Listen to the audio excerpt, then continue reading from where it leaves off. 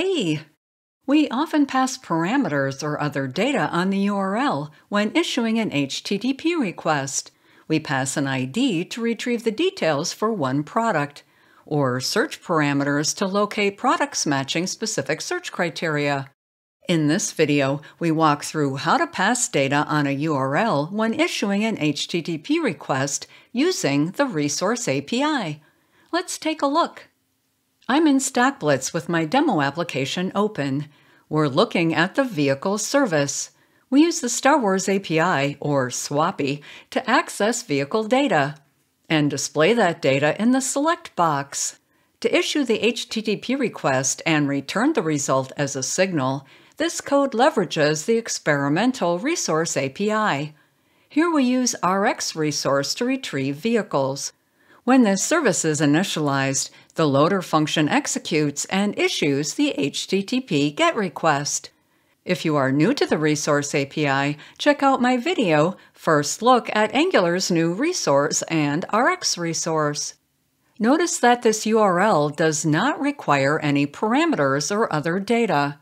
How would we pass data into this loader function?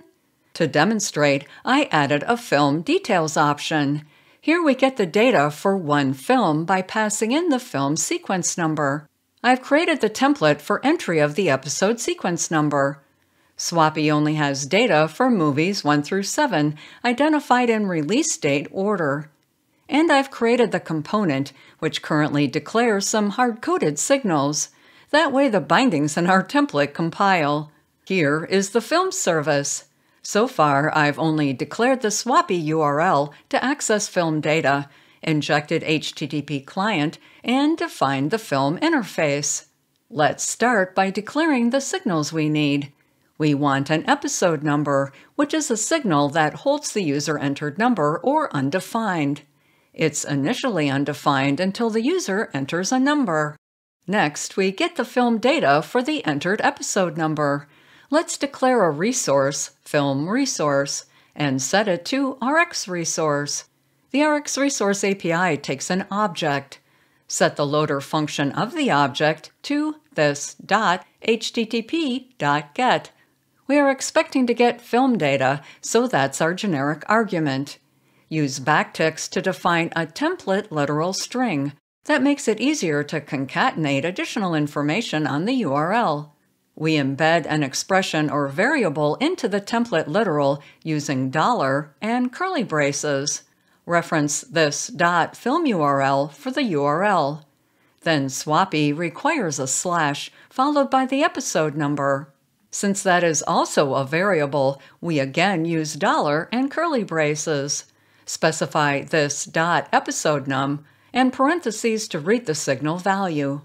Spoiler alert, this code won't work. We can't pass in a signal like this. Well, let's continue and see why. The film data is returned in the value property of the resource. Create another signal, I'll call it film, and define a computed signal. In the computed function, reference this dot film resource dot value. Use parentheses to read the signal. Lastly, let's create an isLoading signal that references the isLoading property of the resource. This dot film resource dot isLoading. I've already mentioned that this code won't work, but before we can try it out, we need to modify the film selection component to reference the signals from our service.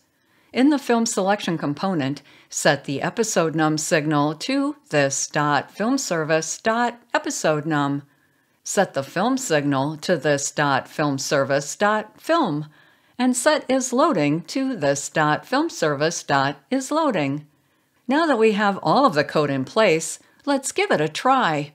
In the UI, enter a sequence number between 1 and 7. I'll put in 1, which is my favorite Star Wars film. But no data appears. What happened?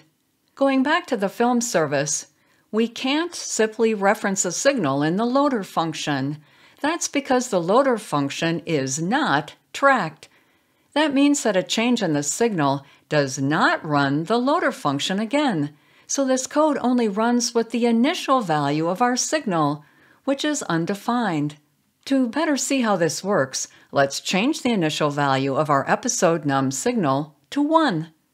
Now the application gets the data for the first released movie, A New Hope. But if we put in another number, say 4, nothing happens. Our loader function is not re-executing. Let's change our initial value back to undefined.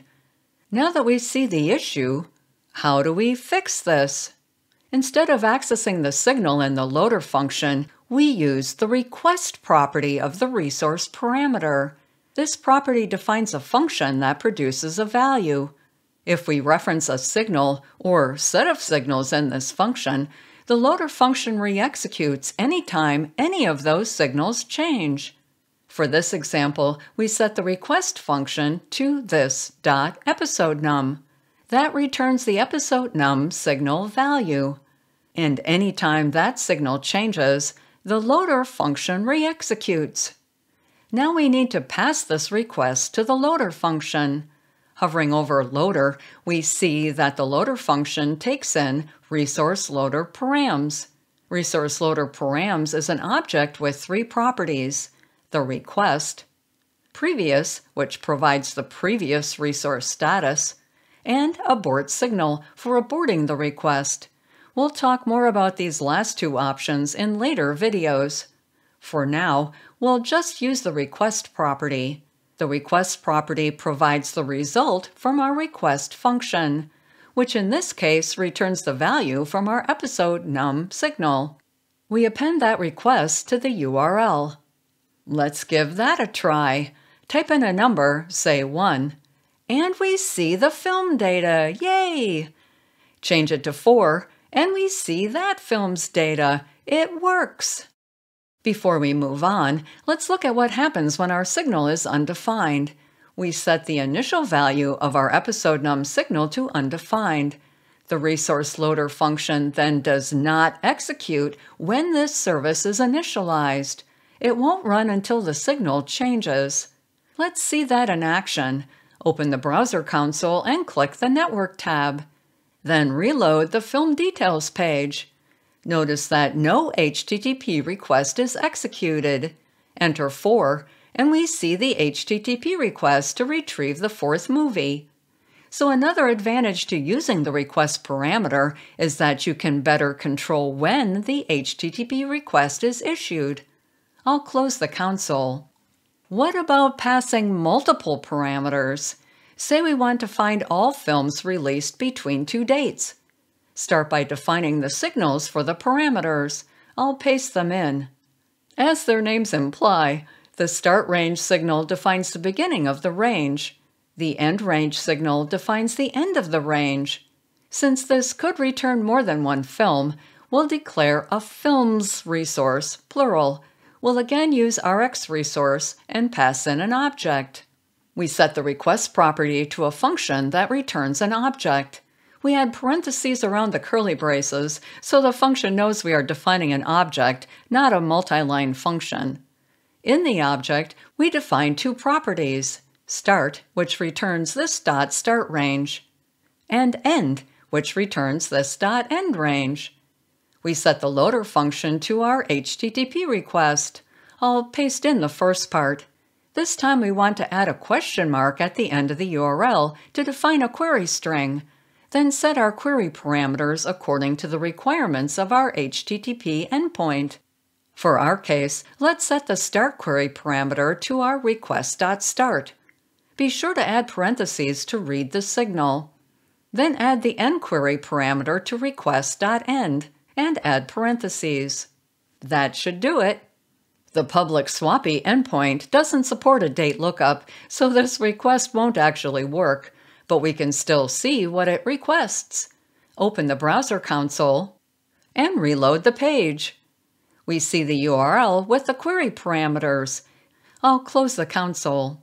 So, how do we pass data to an HTTP request with the Resource API? First, we use the request property and set it to a function. That function references one or more signals. When any of those signals change, the associated loader function re-executes. Next, pass the data returned by the request function to the loader function using the loader function parameters. Lastly, we use the loader function parameters as needed in the URL. Here we added it to the end of the URL to specify a particular movie. And here we used it to define query parameters. Thanks for watching. If this information was useful, please like and subscribe.